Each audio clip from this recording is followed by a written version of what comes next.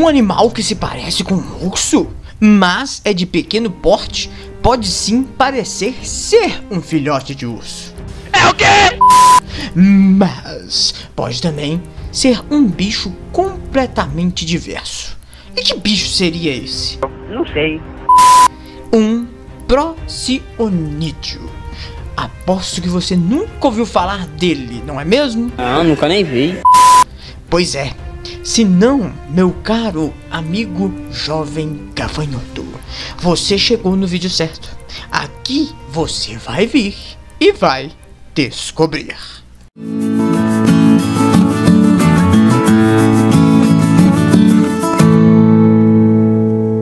E antes de começar o vídeo, já sabe, meu caro amigo e minha amiga, capricha no like, desce o dedo nesse like pra gente subir o canal cada vez mais.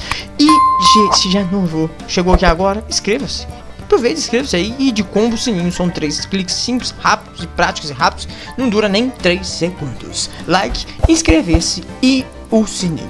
Então, vamos saber que tipo de animais são esses. De urso, os indivíduos desta família não têm absolutamente nada. Aliás, acredita-se no parentesco remoto de muitos procionídeos com cães e raposas. De patas curtas e garras pouco encurvadas, são semipiantiágrados. Que seria isso? Que quer dizer que caminham apoiando-se sobre toda a palma e planta das patas no solo. Olha que incrível! Os principais tipos de procionídeos são quem? Os mão pelada, os coatis e os juparás. Uma, uma das características, olha para vocês verem, mais interessante desses animais é a sua preferência pela vida noturna.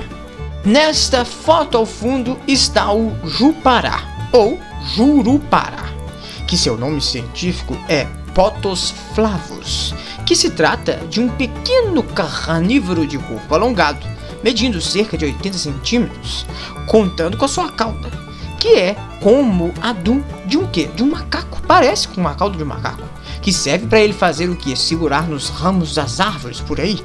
Por isso, há quem o chame de macaco da meia-noite, porque de fato ele é encontrado noite adentro nas florestas e pelos galhos afora.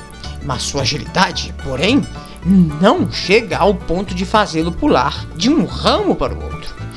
Anda em bandos também de 8 a 15 indivíduos procurando comida e fazendo um tremendo barulho, alimentando-se de frutas doces e insetos e até passarinhos.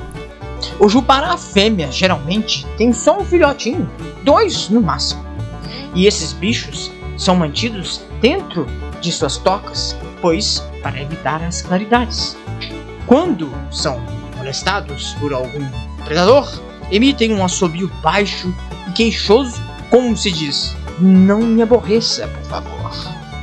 Agora, esse bicho que vou te apresentar, você provavelmente conhece, que é o mão pelada ou o guaxinim o nosso querido amado Rocket Raccoon, não é mesmo? Pra quem é mais familiarizado com os filmes aí hoje em dia, que é um bicho de ar bem matreiro. A impressão que se tem ao olhá-lo de frente é que ele está usando uma máscara, não é mesmo? Interessante. Tudo porque, tendo um pelo amarelado, e apresenta a face e as suas órbitas negras, e esta faixa são claras nos supercílios e no seu focinho. Seu nome científico é bem complicado, conhecido como Procyon carcrivorus. É isso mesmo, tá? Os nomes são difíceis de pronunciar. Eu sempre tenho problema, você já deve conhecer aqui no canal. Já aqui no Brasil, porém, é mais conhecido como o guaxinim ou iguanara. Tem formas arredondadas e pelo bastante denso, e as suas extremidades, suas patas, são desprovidas de pelos. Por isso aí vem o seu nome também comum de mão pelada. Medindo cerca de 65 centímetros do corpo e 35 da sua cauda. A dele é bem longa, que é anelada de preto e amarelado. Desenvolve suas atividades de preferência à noite, são mamíferos noturnos Durante o dia, eles ficam escondidos em ocos de árvores por aí dormindo, provavelmente descansando. E podem subir em árvores, mas preferem ficarem no chão, sendo encontrados quase sempre à beira d'águas, em brejos, mangues, barrancas e rios por aí. Nada bem e consegue andar sem dificuldade nenhuma sobre a lama dos pântanos e em lugares onde qualquer outro animal afundaria. É um excelente nadador. Melhor do que eu. Quando está sendo perseguido por outro lado, é para esse recurso que ele apela. E na maioria, maior parte das vezes, ele se sai muito bem. Ou seja, tem um predador atrás dele, ele pula na água e sai nadando. Olha que bicho inteligente, hein? E ele é um excelente caçador de insetos, caranguejos, rãs e até passarinhos. E além disso, é um bicho muito limpo. Olha pra você ver que interessante. Ele come sentado com as patas traseiras. Olha pra você ver, ele, ele, é, ele é top. Antes de, de comer uma carne, ver, ele lava. As rustas também, milho verde, cana, tudo que vai servir para ele de alimento, ele vai lavando. Olha pra você ver que bicho interessante. Esse hábito, e mais o da natação, de sair nadando por aí, da caça e outros, são ensinados também para quem os filhotes, olha pra você ver, geralmente de 2 a 4 pelas mamães mãos pelada.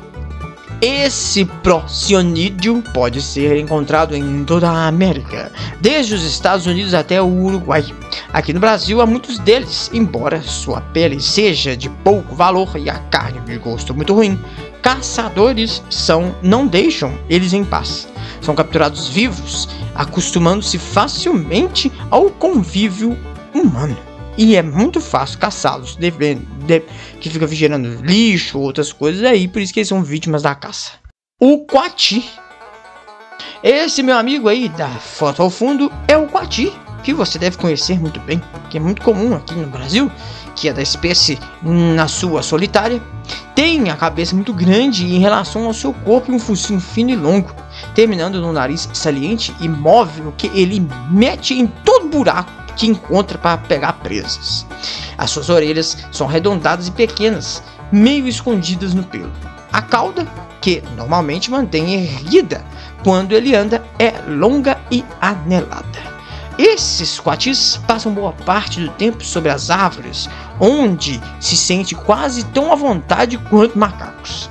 Quando é perseguido, ao invés de pular, deixa-se cair no chão tomando cuidado especial, claro, com seu narizão que ele defende com as suas patas a todos custos.